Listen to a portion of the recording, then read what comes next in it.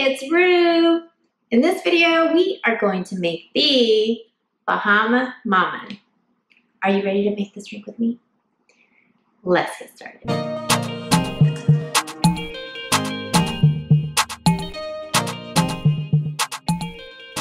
To make this drink, we need to gather these ingredients. Coconut liqueur, I have here Malibu rum. White rum, I have here Bacardi. Orange juice, pineapple juice, and grenadine, five items.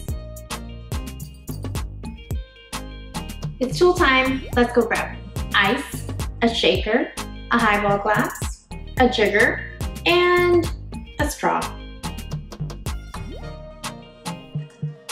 We will be pouring one ounce of orange juice into the shaker. Now grab the other juice, your pineapple, Pour one ounce of pineapple juice into the shaker. Get your grenadine. Pour half an ounce of grenadine into the shaker. It's alcohol time. Grab your coconut flavored liqueur. Pour one ounce of Malibu rum into the shaker. The last ingredient is your white rum. Pour half an ounce of white rum into the shaker.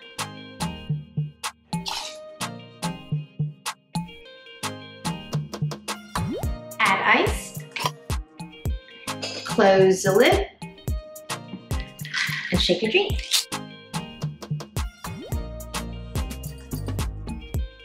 Add ice into your glass. Pour your drink. And the last step is to add the straw.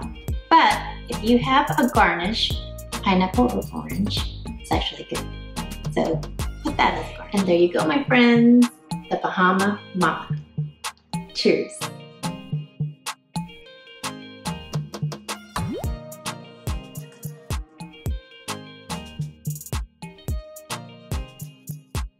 If you want to learn how to make more cocktail drinks from home, subscribe and hit that bell button so you don't miss an episode. Comment below if there's a drink you would like to see next.